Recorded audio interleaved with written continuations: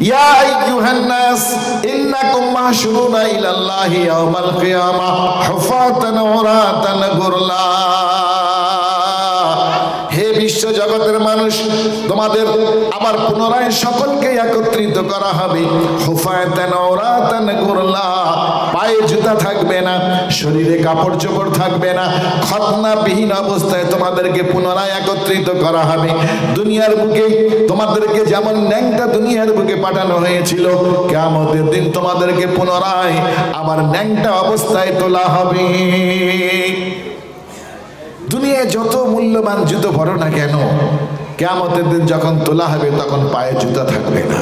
শরীরে যত মূল্যবান পোশাক থাক না কেন কেমতের দিন শরীরে কোনো পোশাক, একটা সুতোর ঘুষিও থাকবে না। এখানে মা বাপ জন্মের পরে মুসলমানি দিয়ে খতনা করিয়ে মুসলমানি দিয়েছে, কিন্তু কেমতের দিন যখন তোলা হবে তখন মুসলমানি দেওয়া থাকবে না খতনা করা থাকবে না।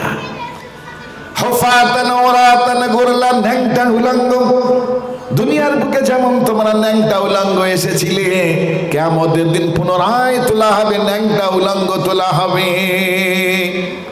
ন্যাংটা উলঙ্গ তোলা হবে। কোমরে একটা সুতার ঘুঞ্চিও থাকবে না, সুতার ঘুঞ্চি থাকবে না। হুফাতান ওরাতান গুরলা, মহান আল্লাহ পাক বলেন, কামা বাদানা আউয়ালা খালকিন নুঈদু। কামা বাদানা সর্বপ্রথম যেমন আমি তোমাদেরকে সৃষ্টি করেছিলাম, রাজার ঘরে হোক ঘরে হোক, বাচ্চার ঘরে হোক, যার ঘরে হোক না কেন, সকলকে তোমাদেরকে সৃষ্টি করা হয়েছিল ন্যাংটা উলঙ্গ। কেমতের দিন তোলাও হবে কেমন? ন্যাংটা উলঙ্গ তোলা হবে।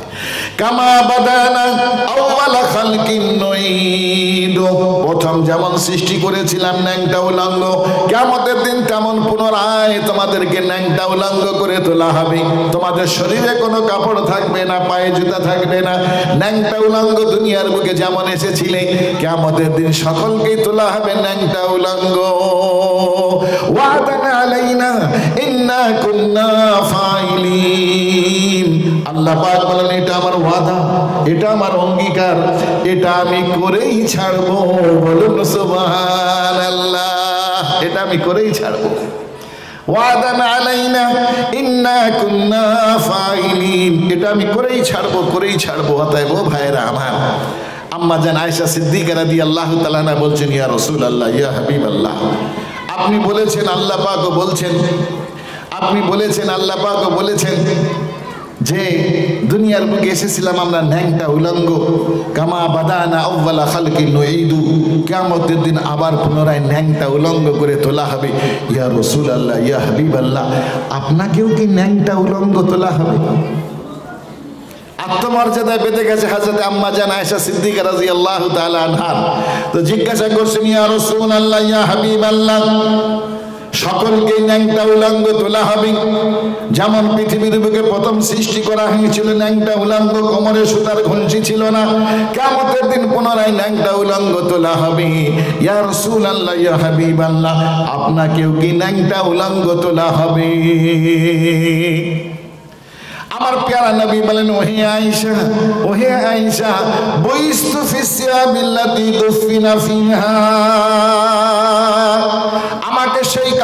তোলা হবে, আমাকে সেই কাপড়ে তোলা হবে। যে কাপড় দিয়ে আমার সাহাবারা আমাকে আমাকে কাফন করিয়ে দাফন করেছিল। বলুন সুবহানাল্লাহ। আমাকে নাইটা তোলা হবে না। বরং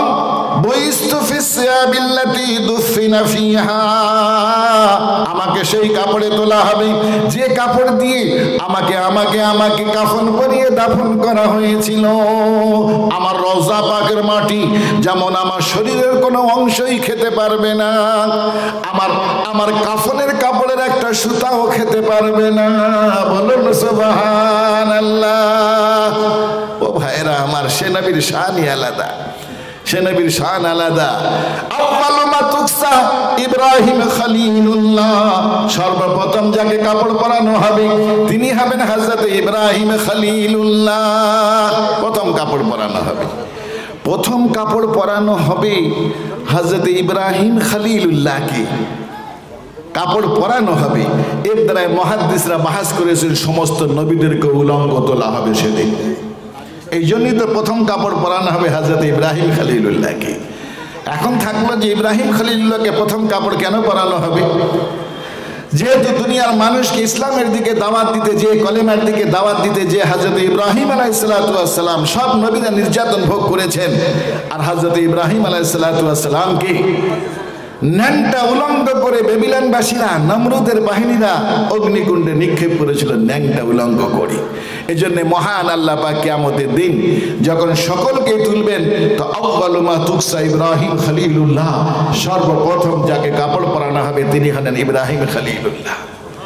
আর আমার নবী, আপনার নবী শানে নবী, আল্লাহ একবার আরে, যে নবীকে আল্লাহ ভালোবাসে। যে নবীকে আল্লাহ মহাব্বত করে, আল্লাহ মহাব্বত করে। আমার প্যারা নবী মহান আল্লাহ পাকের দরবারে ফরিয়াদ করেন, ওহে মাওলা ওহে মাওলা, তুমি এক এক নবীর এক একটা নাম রেখেছো। কারোর নাম রেখেছো সফিহুল্লাহ, কারোর নাম রেখেছো খালিলুল্লাহ, কারোর নাম রেখেছো কালিমুল্লাহ, কারোর নাম রেখেছো জবিহুল্লাহ, কারোর নাম রেখেছো রুহুল্লাহ। আল্লাহ তোমার নামের সঙ্গে সম্পৃক্ত করি। কত সুন্দর সুন্দর নামে তুমি আহ্বান করেছ।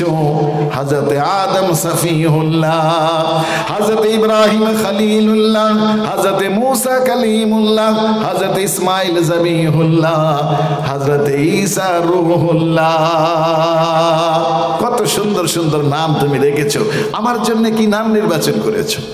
আমার জন্য কি নাম নির্বাচন করেছে?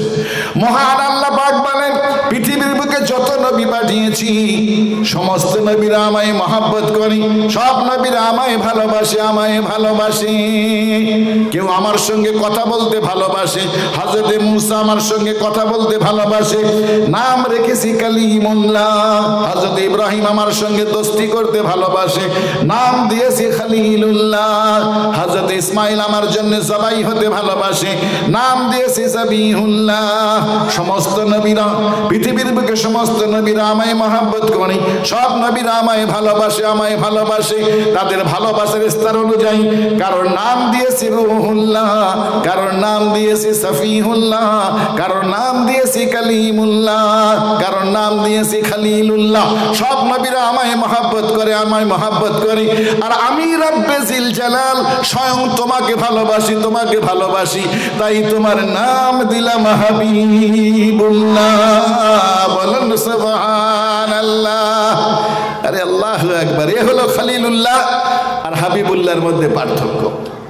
খালিলুল্লাহ, যিনি আল্লাহকে মহাব্বত করেন, আর হাবিবুল্লাহ আল্লাহ যাকে মহাব্বত করে। আমাদের নবীকে আল্লাহ মহাব্বত করে। শুধু মহাব্বত করে না, বরং বলছে, তার মুখের কথাই আমার কথা। ওই নবীর মুখের কথাই আমার কথা। ওয়ামায়ান্তিকু আনিল হাওয়া ইন হুয়া ইল্লা ওয়াহয়ু ইউহা ওই নবীর মুখ দিয়ে কথা বাইর হয়, এটা তার নিজের মনের নফসের কথা নয়। এটা আমার ওহি, এটা আমার নিরেট ওহি, যেটা আমি তার প্রতি প্রত্যাদেশ করি বলুন সুবাহান আল্লাহ তার মুখের কথা আমার কথা, তাকে মানা আমায় মানা, তাকে মানা আমায় মানা। অমায়ুতির রসুল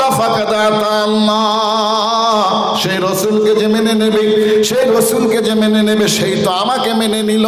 বলুন সুবহান আল্লাহ মাতা কুমুর রসুল ফাখুজুহু ওমা নাহাকুম আনহু ফান্তাহু।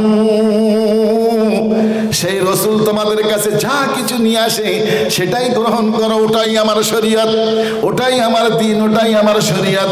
যা কিছু থেকে নিষেধ করি, তা থেকে তোমরা বিরত থাকো, তা থেকে তোমরা দূরে থাকো, ওটাই আমার দিন, ওটাই আমার শরীয়ত। বলুন সুবহানাল্লাহ।